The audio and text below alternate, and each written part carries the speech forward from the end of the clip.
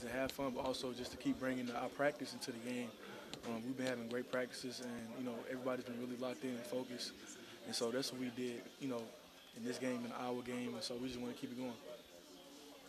Josh, other than the dunk, I mean, you go to the lane twice, finish both times.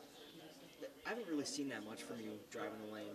Um, do you feel more comfortable doing that? Uh, I just feel like you know after the Michigan game, I just kind of looked at myself, and my coaches were telling me I need to be more aggressive.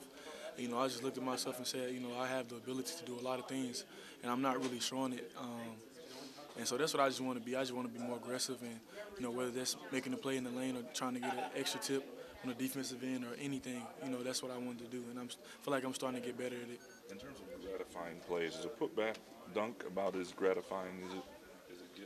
Uh, yeah, I, I, would think so. Um, especially that being my first dunk in college basketball, it was just exciting to be able to do that. And on top of that, we got the win, so it was a double win. Was that, that was your first dunk? Yeah, in college, yeah, in the college game. Yeah, one of the things that uh, Miles talked about is Alvin's sort of emerging leadership vocally, a little yep. different sort of sense of urgency as seniors, time running short. Can you feel that? Oh, I definitely feel that. Um, you know, Eron Harris, also another senior, and um, has been doing a great job with that. Um, both of those guys, you know, they've been around the block a couple times. You know, Aaron been in college basketball for a long time. Alvin been here, you know, for four years, and so they they know what it takes. They know what what we have to do, and so they've been very vocal. You know, these recent practices, and you know, I feel like we've been having our best practices.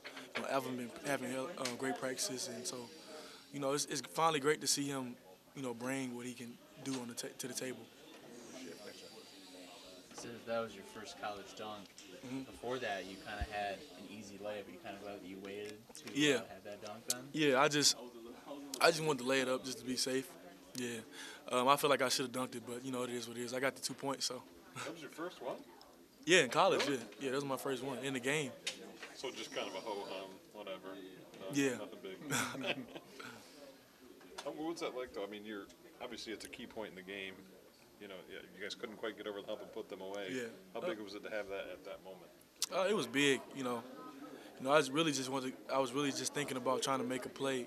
You know, not even a play for me, but just a play to keep the ball alive. And eventually, it worked in my favor to where I could get a putback dunk.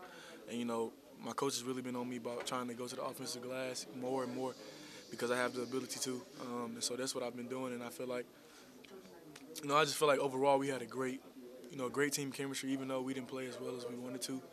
You know, everybody was having fun, and, you know, we really locked in and just got the win. I don't know if it was uh, Ellis's fourth or fifth three-pointer, but I looked down at the bench. You guys are going crazy. What's that like when you have a guy that, on your team that's shooting like that?